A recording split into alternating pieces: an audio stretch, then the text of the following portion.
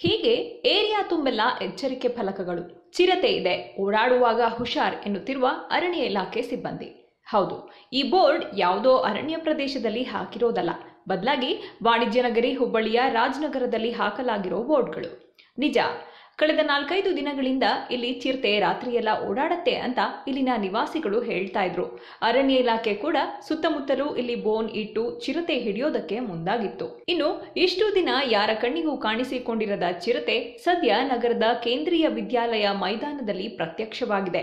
ಶಾಲೆ ಮೈದಾನದಲ್ಲಿ ಓಡಾಡ್ತಾ ಇರೋ ಚಿರತೆಯ ದೃಶ್ಯಾವಳಿ ಸಿಸಿಟಿವಿಯಲ್ಲಿ ಸೆರೆಯಾಗಿದೆ.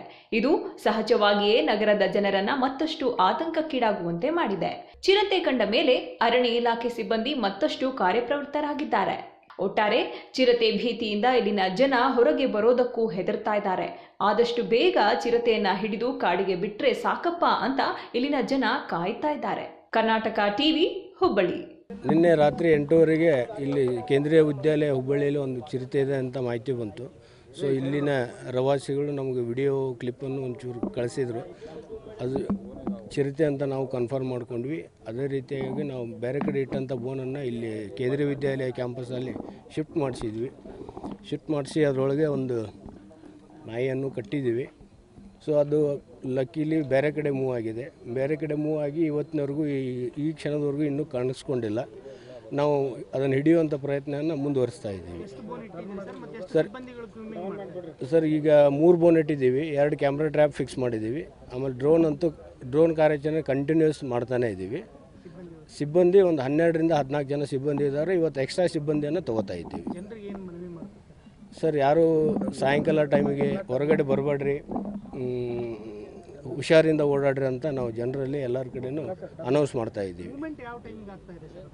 ಸರ್, ಅದು ರಾತ್ರಿ ಒಂಬತ್ತುವರೆಯಿಂದ ಹನ್ನೆರಡುವರೆ, ಒಂದು ಗಂಟೆವರೆಗೂ ಮೂಮೆಂಟ್ ಆಗ್ತಾ ಇದೆ. ಈವರೆಗೂ ಯಾವುದು ಕಾಣಿಸ್ಕೊಂಡು, ಹದಿನೈದು ವರ್ಷದ ಹಿಂದೆನೋ ಕಾಣಿಸ್ಕೊಂಡಿತ್ತು ಅಂತ, ಬಟ್ ಈವರೆಗೂ ಈವರೆಗೂ ಇಲ್ಲಿ ಯಾವುದು ಕಾಣಿಸ್ಕೊಂಡಿಲ್ಲ. ಸಿಕ್ಕಿಲ್ಲ ಇವರು.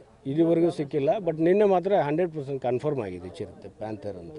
ಆ ರೀತಿ ನಾವು ಯಾವುದ್ಯಾವುದು ಏನೇನೋ ಇಕ್ವಿಪ್ಮೆಂಟ್ಸ್ ಉಪಯೋಗ ಮಾಡಿಕೊಂಡು ಅದನ್ನು ಪ್ಯಾನಿಕ್ ಮಾಡಿದ್ವಿ ಅಂತಂದ್ರೆ ಅದು ಜನರಿಗೆ ಹಾರ್ಮ್ಫುಲ್ ಆಗುವಂಥ ವ್ಯವಸ್ಥೆ ಇರೋದ್ರಿಂದ ನಾವು ಎಷ್ಟು ಮಿನಿಮಮ್ ಇದರೊಳಗೆ ಶಾಂತವಾಗಿ ಜನರಿಗೆ ತೊಂದರೆ ಆಗಲಾರ್ದಂಗೆ ನಾವು ಮೂವ್ ಮಾಡ್ತಾ ಇದ್ದೀವಿ, ಅದನ್ನು ಡ್ರೈವ್ ಮಾಡ್ತಾ ಇದ್ದೀವಿ. ಯಾಕೆಂದರೆ ಹುಬ್ಬಳ್ಳಿ ಸುತ್ತಮುತ್ತ ಅದು ಇರುವಂಥ ಸುತ್, ಜಾಗ ಸುತ್ತಲೂ ಸಿಕ್ಕಾಪಟ್ಟೆ ಜನನಿಬಿಡ ಪ್ರದೇಶ ಅದು. ಸ್ವಲ್ಪ ಏನಾದ್ರು ಹೆಚ್ಚು ಕಡಿಮೆ ಆಯ್ತಂದರೆ ಮರಣಹಾನಿ ಸಂಭವ ಇರುವುದರಿಂದ ನಾವು ಆ ಥರ ಯಾವುದೇ ಅತಿರೇಕದ ಉಪಕರಣಗಳನ್ನು ಉಪಯೋಗ ಮಾಡ್ತಾ ಇಲ್ಲ. Thank you